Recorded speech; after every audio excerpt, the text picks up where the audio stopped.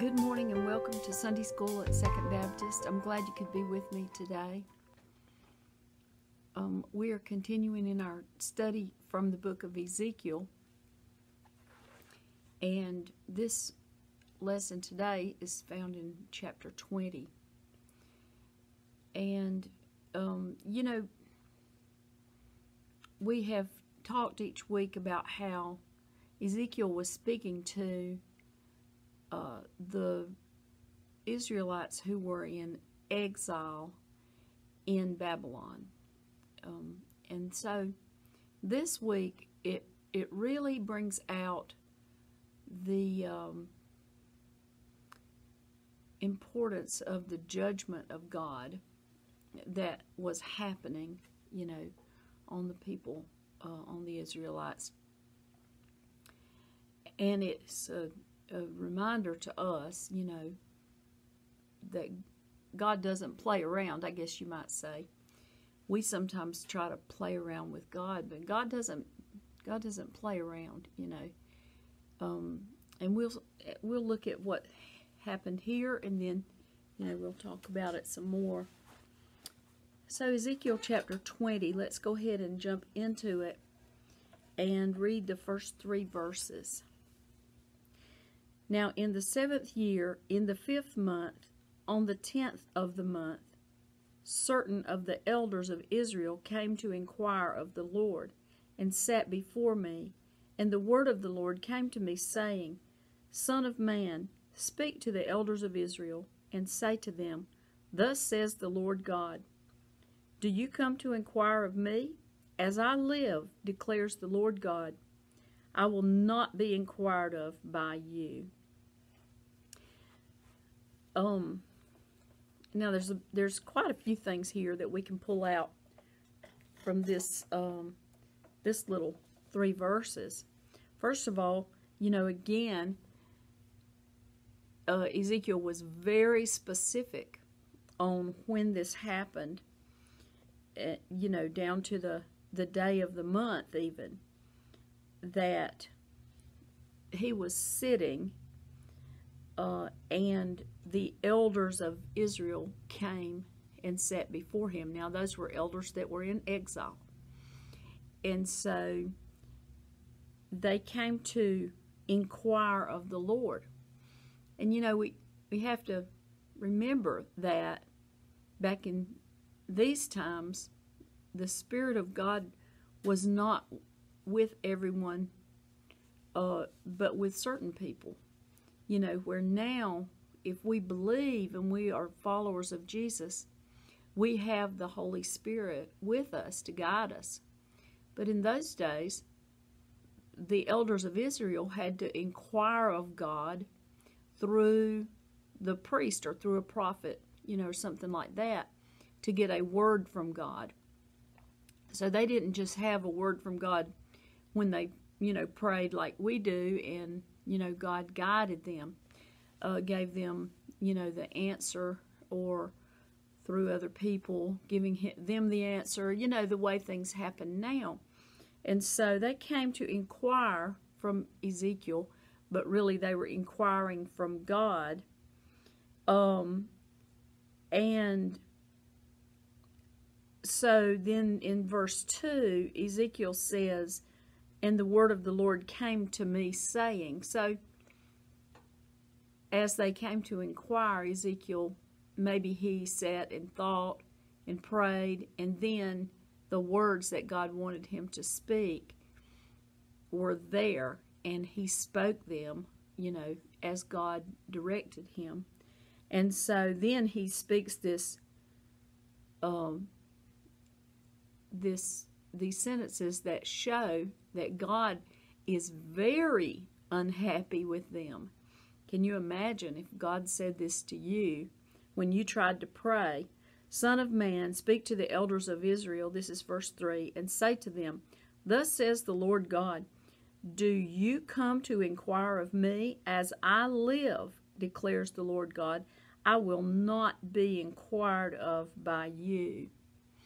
So he, you know, he he answered them very harshly and sh it shows, you know, how upset God is with them. Now let's go on forward to verse 4. Verse 4 Will you judge them? Will you judge them, Son of Man? Make them know the abominations of their fathers. Okay, now what he's saying to uh, Ezekiel is um, remind these elders of Israel of the abominations of their fathers. And so then it's going to go on forward from there what the things that Ezekiel said. So the the first part that I read where the Lord God says this, that wasn't all that the Lord God said, if that makes sense. And so uh, now Ezekiel is going to begin to bring out um, the history, I guess, of the abominations of the fathers. Okay, so let's look at verses 5 and 6. Uh, make them know the abominations of their fathers, and say to them, Thus says the Lord God, on the day when I chose Israel and swore to the descendants of the house of Jacob, and made myself known to them in the land of Egypt, when I swore to them, saying, I am the Lord your God. On that day I swore to them to bring them out from the land of Egypt into a land that I had selected for them, flowing with milk and honey, which is the glory of all lands. Okay, so he's giving a history here. And, you know, the children of Israel had known who God was before uh, they were held captive in Egypt. But this was the beginning of, you know, their real, I guess, relationship with with God when um, when Moses came and they, you know, followed Moses and they were brought out of Egypt and out of slavery and all the things that happened then.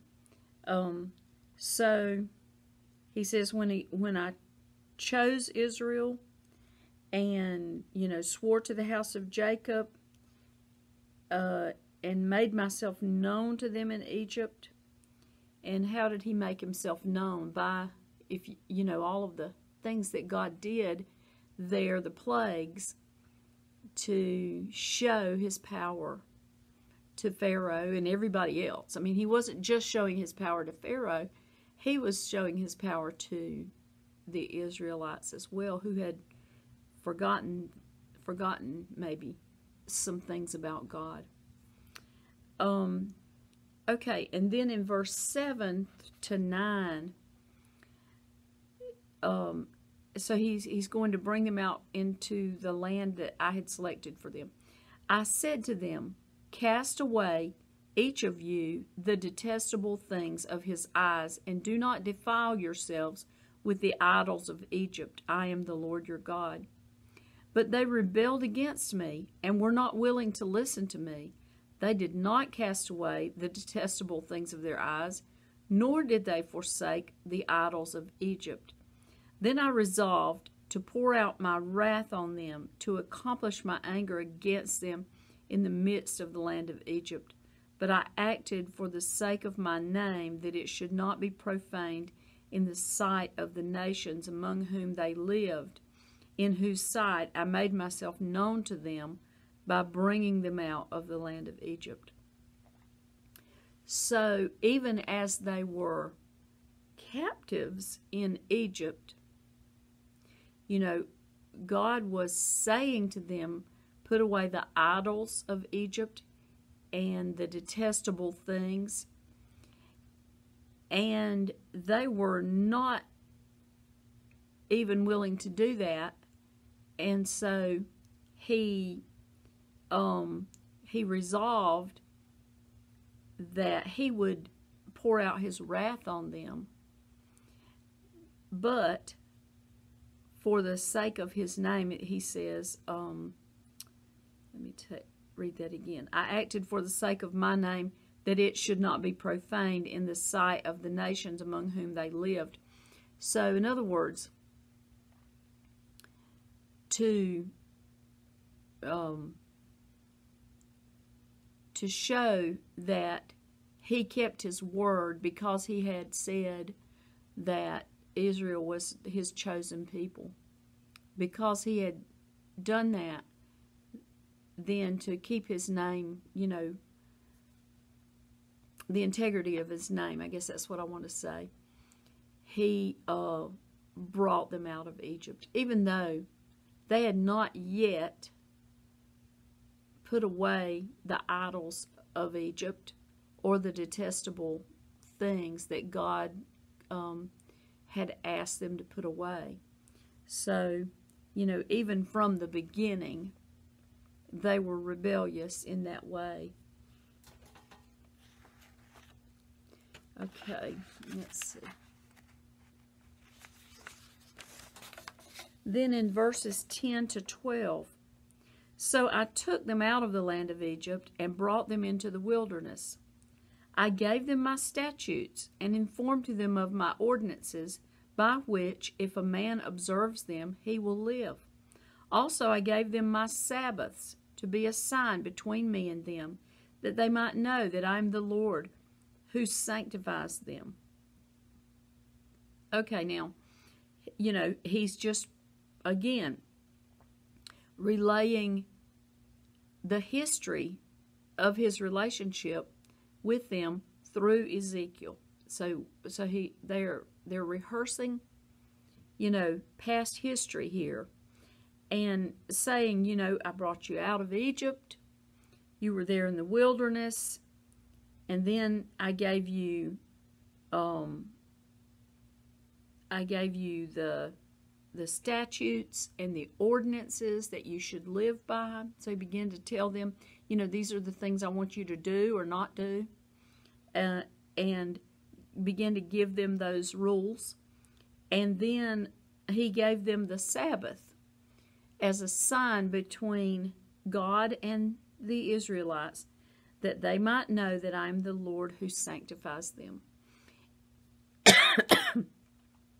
now that is a that's a point that we need to think about. We don't, you know, we don't uh, worship on the Sabbath, which would be Saturday, you know, as the as the uh, Jewish people do now. You know, their Sabbath is Saturday. So we don't do that, but we have a day set aside to worship God and to um, and so that we might know that it is the Lord who sanctifies us. So this is something that we should respect. You know, back in the day when my grandmother was alive, you know, you did not sow on Sunday or farm or do any of the things that you know that you would might do the other six days of the week. I mean, there were songs about it. You know, ain't it a shame to to sow on Sunday when you got Monday, Tuesday, and Wednesday, Thursday, Friday, and Saturday? You know, we used to sing that song when I was a little girl, and I mean that was a very strong teaching of the church that Sunday was a day that was set aside, and now it's not as much I mean, we still have some remnants of that. I guess some businesses are closed. And, you know, we try to make Sunday different, um, those of us who are believers. But even even for us, you know, we do things that our grandparents would have been appalled to to know that that we did, you know, on Sunday on the Sabbath uh, or on Sunday, you know, the, the Lord's Day, we'll call it. And so, you know, God's just rehearsing here then and, and saying, you know, I gave the Sabbaths to the Israelites so that they could remember every week uh, on this day that I am the Lord who sanctifies them, who makes them, uh, you know, better or more acceptable in the sight of God, I guess you might say. Okay, then verse 13 and 14. But the house of Israel rebelled against me in the wilderness. They did not walk in my statutes, and they rejected my ordinances, by which, if a man observes them, he will live. And my Sabbaths they greatly profaned. Then I resolved to pour out my wrath on them in the wilderness, to annihilate them. But I acted for the sake of my name, that it should not be profaned in the sight of the nations before whose sight I had brought them out. Okay, so again, God relents from completely destroying the Israelites and wiping them out in the wilderness, even though that's what he felt like doing, is what he's saying. But because of his name, that his name should not be profaned.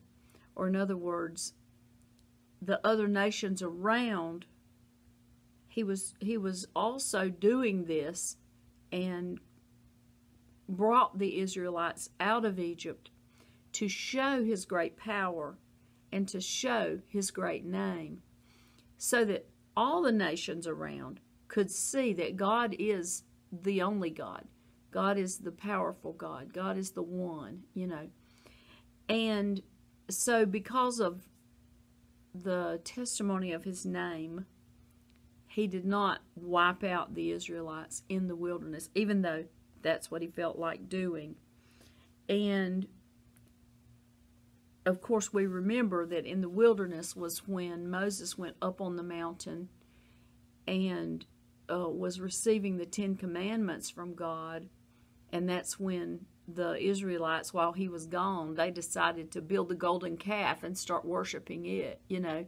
So obviously they had brought the these pagan practices from Egypt that they had learned there, and they were, you know, bringing those out as soon as as they had a chance, and and decided, okay, you know, we'll just make our own God to worship, and and you know, it it really amazes me when I think about it because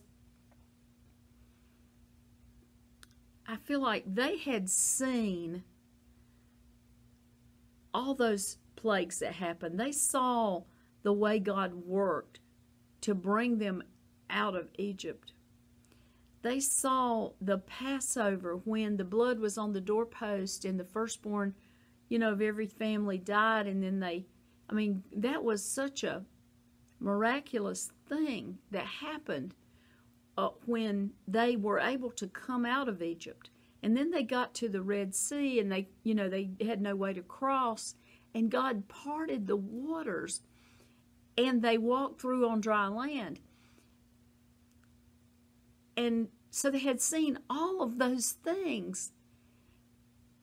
It, just amazes me that they then turn right back around and begin to follow these other gods. It it really doesn't make sense, does it? You know, and but I you know it I know this is what human nature and perhaps if it had been us, we would have done the same thing if we were not believers already. You know, if we were um, a person who did not have the Holy Spirit to guide us, to know that God is God and that uh, Jesus is the Savior and those things, if we did not have that, then our decision making would be, um, you know, easily swayed, I guess, by the devil, really, you know.